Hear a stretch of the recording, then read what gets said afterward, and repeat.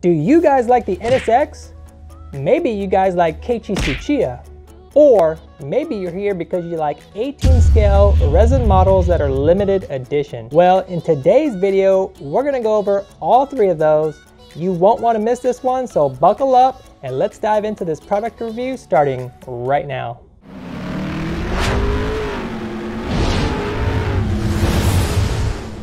What's up collectors? James with Model Cars Houston here, and if you're new to the channel, consider subscribing. I do at least one video a week every Monday. This is for product reviews, versus videos, and everything in between. So if you're new to the hobby or trying to get into it, this is a great resource for all that information. But let's not waste any more time and get to the unboxing.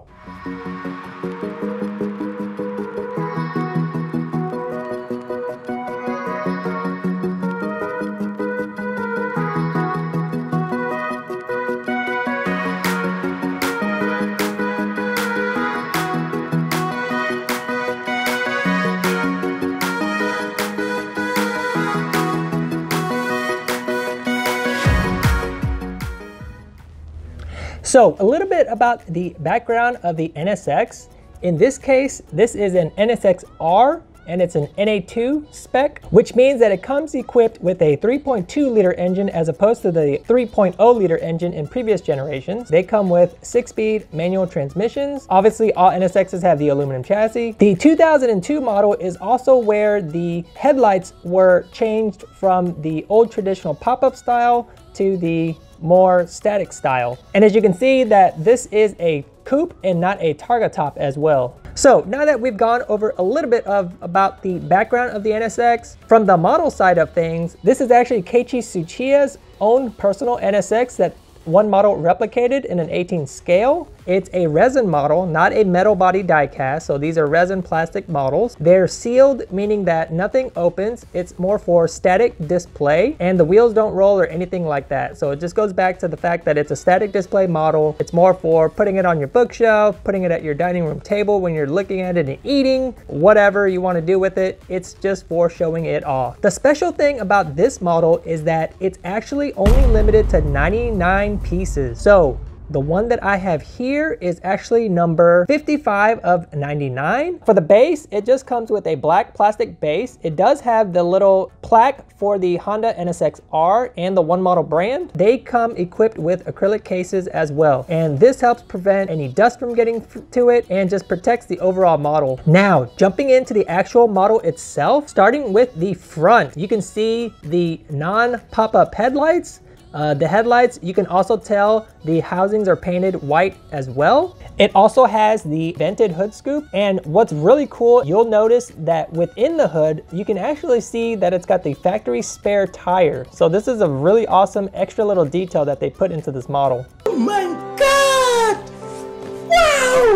The body color of the car is actually a pearl white. This was actually special ordered from Tsuchiya himself when he ordered this NSX from Honda. You can also see the red Type R Honda emblem, the front lip just an OEM style lip. The bumper is also different on these uh, models as well. Moving on to the side, you'll see that the cabin top section of the NSX is actually painted the same body color as the car. So this is gonna be the pearl white color. You can definitely tell that the car has a lowered stance. It looks like it's got factory brakes, but slotted and drilled rotors. For the wheels, you'll notice that it's rocking the Model 5 wheels these wheels are often typically found on a lot of NSXs as you can see here and here and here. So it is actually a fan favorite wheel setup that the NSX community desires, and Tsuchiya himself even went with this wheel setup. And then moving on to the rear section of the vehicle, you'll notice the awesome NSX-R spoiler,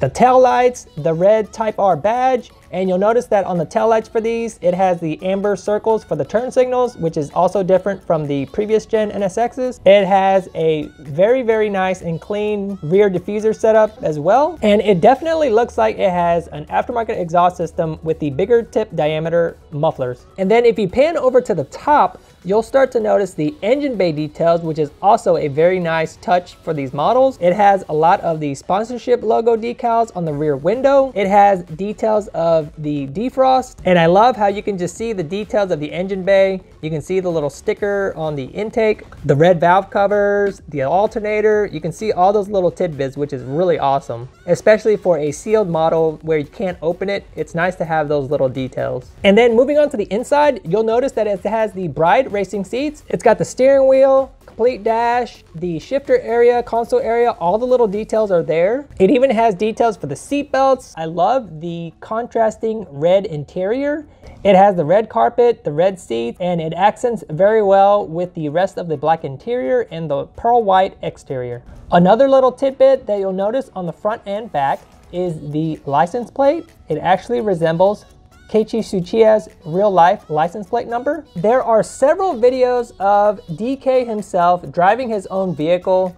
Um, he's always driving it on the touge. He's always got videos of him comparing this car to other cars. And I'll be sure to link those down in the description below so you can take a look at those videos and see this actual car in action. So question of the day for you guys. What did you think about this 18 scale Tsuchiya Spec NSX-R? Does it look exactly like his real life one of one? I know that his real car in real life have undergone a couple of changes. For example, it may have different lip, it might have different set of wheels, etc. But this is pretty accurate to how it looked at one point in time. So let me know down in the comment section below what you think about this model. Also, let me know in the comment section below if you have any other ideas for videos. If you enjoyed this video, give it a like. Check out my other videos in this next slide. I'll see you in those videos or my next video.